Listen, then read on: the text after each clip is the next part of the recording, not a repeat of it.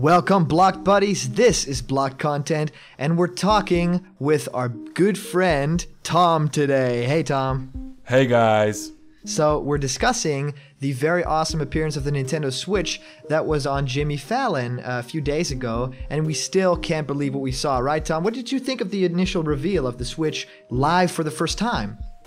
I thought it was very cool, and this time it wasn't some some orchestrated trailer, and this time it was real, and it was I, it was very cool, man. Oh man, I, I just can't believe what we saw because I I thought you know the major reveal would be Super Mario Run, and they even revealed some cool stuff about that game, meaning that you can even play as Luigi, you can play as Yoshi for the first time in a side-scrolling Mario game, you can play as Toad, and not just Blue Toad or Yellow Toad, but you can play as you know the Toad, but the the major thing was that there was this box, you know, this question mark box on the table the whole time. What did you think was inside that thing? I actually, to be honest, uh, I was spoiled for the video, so I think I was I knew what was coming, but if I wouldn't have known, I wouldn't have seen it probably, and I would have just thought it would have been a Super Mario Run video, which oh, also right. was very exciting.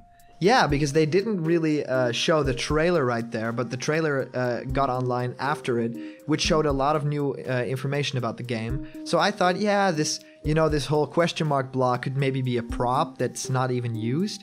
And then they lifted it up, and it was the Switch, and oh, man, I, I, I just can't believe it. So what did you think? You know, how does the console look to you? Does it look cheap, or does it look you know as big as you expected? What did you think of the reveal?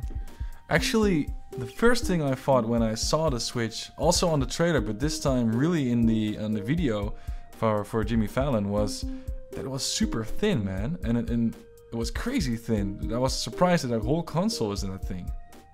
Yeah, it feels like uh, this is, you know, and I can't really say it because people will hate me for it, but it feels like a tablet when you look at it, right? It feels like an iPad kind of thing but more geared towards like a, a you know elongated like like a horizontal screen.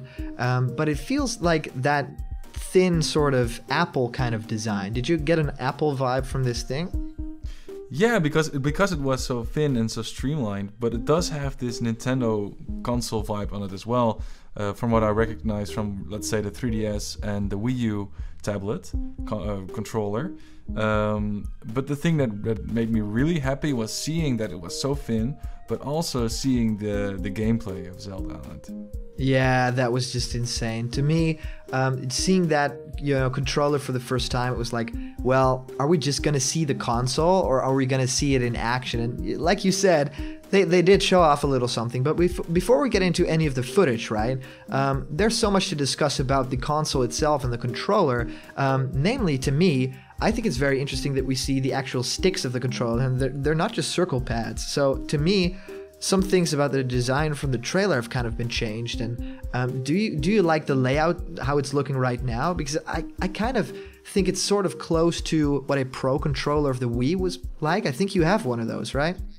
Yes, I do. The the, the one of the things I've always been a bit um, uh, thought was a bit strange was that the Wii U controller layout had the two sticks at the top, which was unique because the, PS4 controller has them both at the bottom, and the Xbox controllers all have them uh, like diagonal, where the where the buttons on, on the right and a stick on the on down on the right and the stick up on the on the left side. Uh, yeah. This time they did the kind of the Xbox layout, and I think I like that because the second stick should be a secondary thing as opposed to the buttons on the right side. Yeah, exactly. Because I think that um, the stick on the right you'll use, of course, I think the most, right? I mean, it's your walking, it's it's basically your basic movement in just about any game you can think of. Um, but also, what I really like about the design is that it has this diagonal design that kind of feels like a yin yang sort of design. Even if you look at the logo, right? I mean, the logo of the Switch is exactly those two sticks, um, uh, you know, represented in this small sort of icon. And one side is white and one side is black, or you know, one side is one color, one side is the other, and it kind of feels like a yin yang sort of. You know, there is balance there. So to me, one of the design philosophies seems to be that the Switch has to be somehow balanced or something. What do you think about that? Maybe it's weird to say, but maybe this is Nintendo's way of seeking some redemption. Yeah, exactly. That's what I thought as well. It's very cool that you say that because um, after the Wii U, you know, the Wii U wasn't the, the big hit that they hoped that it would be. And I, I always wished for Nintendo to have this giant console that just blows up. And you know, the Wii kind of was that. The Wii was immensely successful. But after you have something like the Wii U fail that hard, you know, and the game's just not selling, the console's just not selling after its initial launch, you need that one big thing. And if we can go off Jimmy Fallon's reaction, right, I think this is the big thing that we're waiting for. Yeah, I mean, I'm gonna get it for sure. The one thing that I am a bit um, wondrous about is that the Switch does feel a bit like the Wii U, but um, more thought out, I guess, and uh, more of a streamlined concept. What do you think about that, Callum? Yeah, I, I sort of agree, I guess. I think that the Wii U maybe maybe this has always been the plan from the start and with the Wii U they just didn't get it right the first time. Um, because it seems to me that if you're gonna make a game uh, console that you can also play on a tablet screen or something like that, I think that the idea should always be to take it anywhere you go. That's the first thing you think about, and I think that's the first thing that Wii U owners did was just walk and see how far they could still have the image, right? And it's so weird to think about that they put a console out that was basically that idea, but it didn't. It's it's kind of like the the Mario Maker for 3DS. You know what I mean? Yeah, kind of uh, uh, improving on the concept, I guess. yeah, you're bringing out a new game, right? Mario Maker for 3DS, but you leave out this one component that is so crucial. And with Mario Maker, that was online play. That made that whole thing awesome, like sharing your levels with the world and playing any level from the world. And with the Wii U, it was kind of the same thing. It was like you have this amazing console, you can play games in your hand, and you can play them on the screen, but you can't take them anywhere. I mean, what's what's really what's the point, right? No, I agree. I, talking about Super Mario Maker, I remember you and I sharing our levels with each other and uh, uh, showing us uh, showing each other the levels we uh, both made uh, individually, and it was so much fun. And I think with the Switch, uh, we're gonna have something well similar where maybe I would go to your place and we will play some some Switch games together, or we will be somewhere on a, on a road trip and uh, one of us will take our Switch and we can play together again. Uh, I think that's something very exciting. Something we also saw in the Super Mario Run um, part of the video. Exactly, yeah. Super Mario Run also seems to be a bit more of a multiplayer experience than we expected, right? And I think that's what Nintendo does so well. It's it's introducing this concept that seems very simple, right?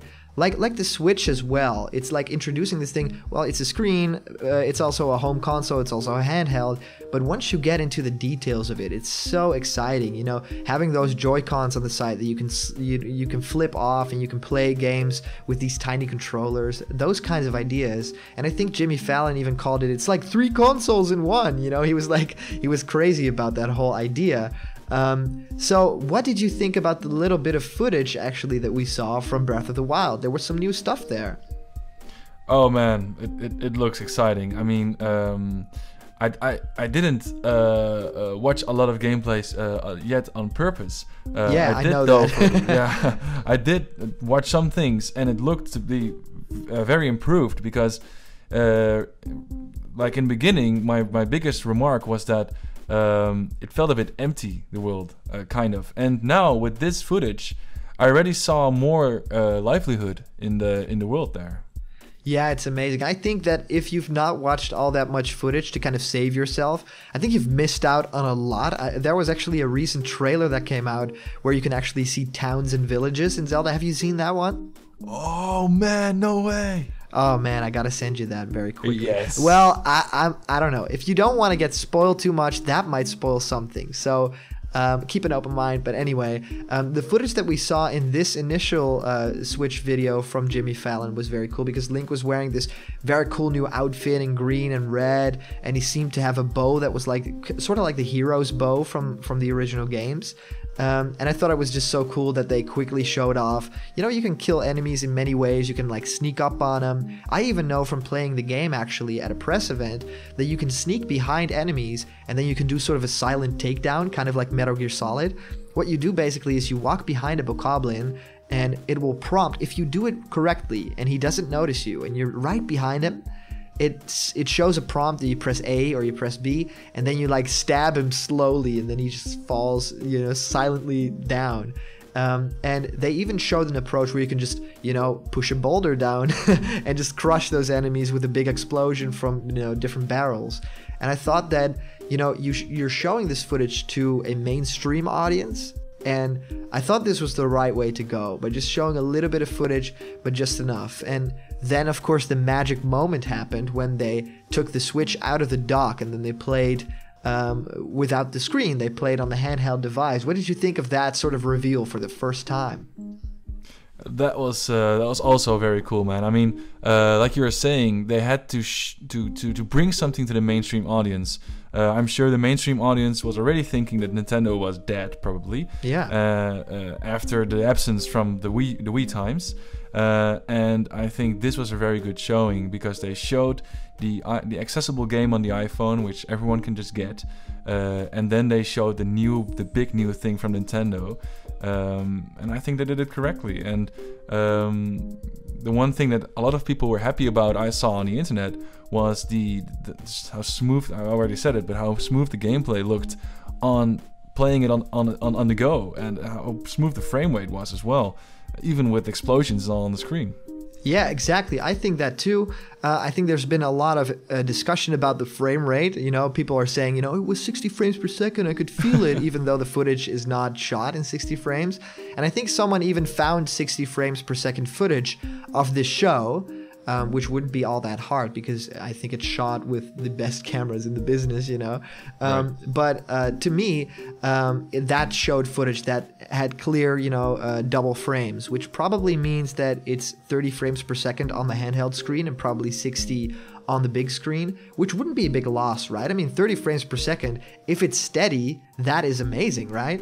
As, as long as it's smooth and steady, uh, I've read online that the Wii U version has trouble with explosions on the screen. Yep. Um, I've heard, and um, I didn't see that on the, the Switch tablet mode for thing, so that made me very happy.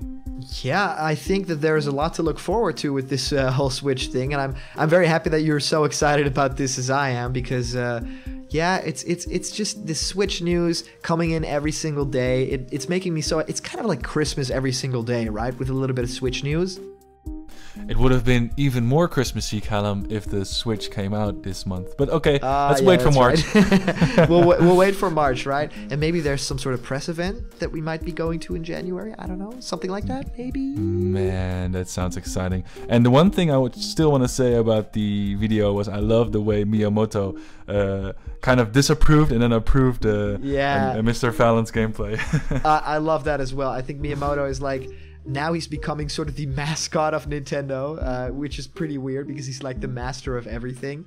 Um, but I like I like his personality so much, and I think he understands English perfectly. He can speak it perfectly, um, so he was he was definitely uh, aware of everything that was going on. And I, I, I saw an edit of that video where where they reversed it, and they and they made it black and white as soon as his thumb went down. So it started up and smiling, and everyone was laughing, and then suddenly all those smiles disappeared, and his thumb slowly went down, and then the screen turned black and white. I mean, I'm gonna send that to people if if they're saying I'm not excited for the Switch, I'll just send that thumb going down. I want to see that, man. I'll send it to you, and I'll send you cool. the the Zelda video as well because you you, you just got to see that. There's towns, there's non-playable characters, there's people in the villages. It is incredible, and there might even be a little hint of some Zelda in there as well. I don't know. Man, man, show it to me, show it to me. Oh man, there's so much to look forward to, guys. I want to thank you all so much for watching. This was Blocked Content, and as you know, our special guest Tom here also has some very cool programs here on Blocked Content, including Tasting with Tom, Testing with Tom, and a lot more more. So check out Blocked Content videos for more Tom content. Block Tom tent? Anyway, anyway, uh, thank you guys so much for watching. Tom, thank you so much for tuning in. Thank you, Callum, and bye, Blocked Buddies. See you later, Block Buddies. And remember, for more Switch news, stick it here to Blocked Content. And remember that you can always click that beautiful subscribe button to hear Tom's lovely voice mm. and my lovely voice. Mm. See you guys later.